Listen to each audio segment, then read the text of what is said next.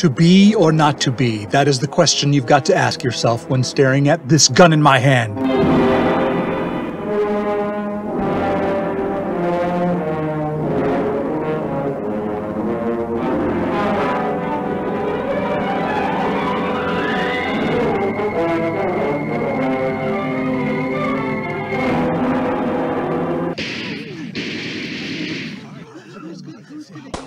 What's going on here? Who are you? Falk Zildjian, how have you been? We met at the NRMA gun giveaway. Remember it was accidentally advertised as a gun buyback event? I remember that. You're, uh, G.I. Jake, right? Yeah. Well, no, G.I. Jake is the name of the whole group. I'm one of the leaders, Crank. You guys having some kind of war game here in Hex Pantry? No, we're engaging in a little urban pacification. There's been some terrorist activity in the area. We're doing routine checks of everyone in this vicinity, kind of separating the wheat from the chaff, you know? What was the terrorist activity? I hadn't heard about anything. We got reports someone had a banner hanging brazenly from the side of an apartment building that read Peace. You can see it right there in that alley. That's why we started by clearing this building. Yes, I see. Peace on earth and goodwill towards men. Crank, that's been hanging up since last Christmas. Still, talking about peace shows disrespect for our troops, as if we're wrong to go to war. It's practically giving aid and comfort to our enemy. What enemy? Whichever enemy. Pick one. The next enemy. And who are all these guys with guns wearing tights and huge ruffles around their necks? I thought one of those avant garde stage plays was pulling their audience out onto the streets, or they were doing theater in the park or something. They're the newest additions to the G.I. Jake team Strike Force Shakespeare. See, we had some success with the action figures, toy guns, stuff like that. We gave away whistles when kids sent in box tops from Cream of Wheat. Plus, there was the G.I. Jake Big Little books, the G.I. Jake Cliffhanger serial. At some point, kids with money are able to collect all the action figures. To keep them buying more, we give them a new round of characters to collect. One of our board members at Hasselbro pointed out how Shakespeare's real popular on Broadway lately, on account of that guy Orson Welles doing a bunch of those shows. Sure, I loved his Halloween show. So there's our theme. The next generation of G.I. Jake characters are all nicknamed after Shakespeare characters, but of course with our war angle on everything. Here, I'll introduce you around. That's King Kong Lear. Hello. This is the Scottish player, Hello. Lady Macbeth. Ugh. Our lawyers said somebody else had trademarked Puck, so this guy is Pucker. Yeah. Here's Caliban. What's up, guy? That gun in your hand looks totally savage. Over there's Horatio. Now, that one was a stroke of genius. We knew there'd be complaints about the name, so we manufactured a limited run of 500 Horatio action figures without releasing them to stores. We leaked the story that they were in development, so a lot of outrage would build. Then we'll hold on to them for five or ten years. By that point, collectors might pay 10 clams each. They'll be like forbidden fruit. Officially, the company never sold any, but everybody on the inside will be raking in the dough. Your marketing team is unbelievable. Thanks, they really are. This here's Prospero Prosperophelia. She's what the carnies call a half and half. The action figure has a lever on the back. One minute you're looking at Prospero, an old man with a beard casting spells that sink ships. Hello. Click the lever and it switches to Ophelia, a gloomy young woman who's been rejected by the Prince of Denmark. Hello. This guy over here was going to be based on Coriolanus, but we couldn't come up with a code name that kids wouldn't emphasize the last part, anus. If you need a war angle, you could call him Marine Coriolanus. I like it, but it doesn't solve the anus problem. Oh, yeah, I forgot. The one leading those kindergarten kids on a string is Juliet. We thought she'd be a powerful addition to the team. Turns out she's a normal 14 year old girl. Rumor was she could fire solar blasts from her hands. That was just a, what do you call it, a metaphor. You know, Juliet is the sun. And over there, smashing in the windows, are Hotbox and Anais Ninja. What do those names have to do with Shakespeare? Nothing. Every strike force needs a flamethrower guy and a ninja. I get the Shakespeare gimmick, but why are you putting civilians in the back of trucks and taking them away?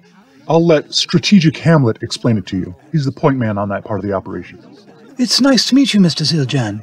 To be honest, I had mixed feelings about putting civilians in concentration camps, but I realized the key to it all. When other countries put civilians in concentration camps, it's a horrible atrocity. When our side puts civilians in concentration camps, it's a matter of national security. Concentration camps? I know, that's not the approved term. We call it a strategic hamlet. See, when your enemy uses guerrilla tactics, they don't wear military uniforms and they can blend in with the local population. Our boys can't tell which ones are good and which ones are bad. So we move all the civilians in the area to a new village that's secure. We station guards around it, fences, barbed wire. No one gets in or out without us knowing. That new place is the strategic hamlet. Now, if any terrorists or enemies are trying to hide among the civilians, they're at a disadvantage. They're surrounded by our forces. We can search them for weapons at any time, we can search their homes. Everybody's safe that way. Why would anyone agree to move there? For one thing, we can guarantee their safety inside. That's the carrot. On the other side, there's the stick. Everywhere outside the strategic hamlet is open season. People who refuse to live inside are assumed to be active members of the enemy force, or at least collaborators. Everywhere outside is a free fire zone. Hold your fire, Free Fire Zone. I wasn't calling for you, I was just explaining the idea of it to this man. Oh, sorry. I told the marketing guys that name was going to cause problems. Another code name that has nothing to do with Shakespeare. His concept works really well with Strategic Hamlet, though. Excuse me, I need a word with the twins. Hey, Guns and Butter. I know you verified the ammo and the hardware. Do we have a three month supply of food for all these deliberately displaced persons? I'm Guns, she's Butter. He was talking to me, obviously. Colonel Crank, can you explain to me why an elite strike force operative with a code name such as myself would get assigned as a supply sergeant? Ain't that what we got contractors for? Sir, I have a question. What is it, Guns? Could I have some more guns? Requisition some from your sister. Sir, kiss my grits. I should really get going. I heard reports of inhuman screeching in the area, and I need to investigate. Perfectly understandable. I know you got things to do. Here come a few more. The guy piloting powered armor over there is Mech Ado About Nothing. Hello. Get it? Mech? Mech Ado About. I got it. Uh, that portly fellow is a jet pilot, Falstaff Sturburner. Woof. Yeah, that codename isn't set in stone.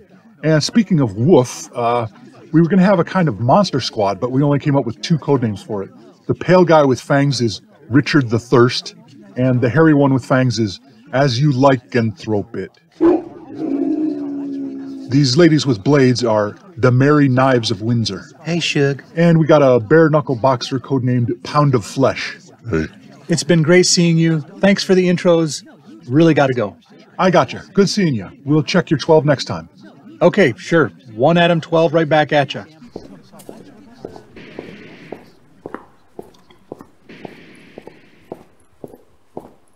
Hey, Wordsmith. Am I glad to see you? You know about that military fiasco over in Hex Pantry?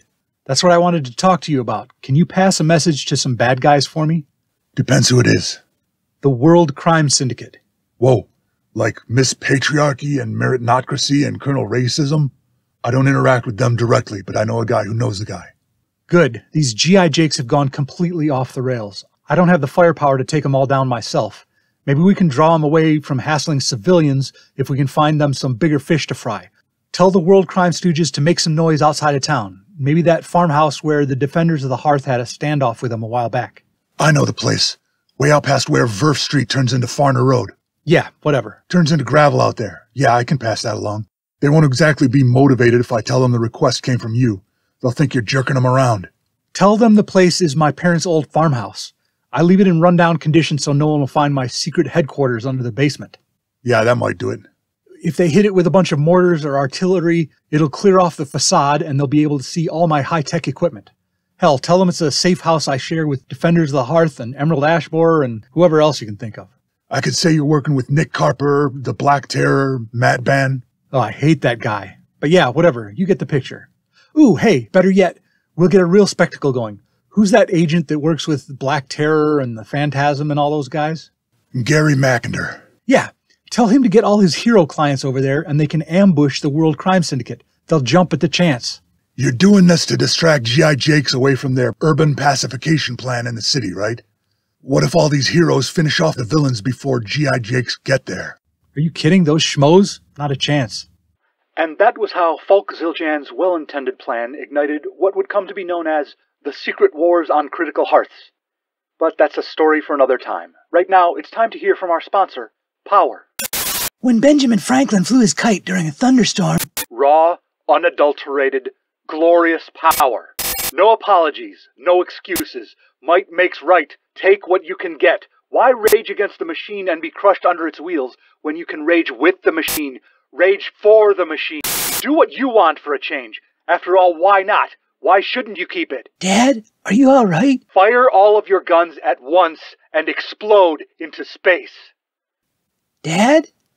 Yeah. Why not try power today?